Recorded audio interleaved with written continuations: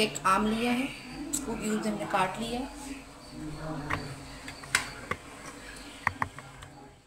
चीनी तकरीबन हमने चार बड़े चम्मच लिए तकरीबन तीन गिलास दूध डालेंगे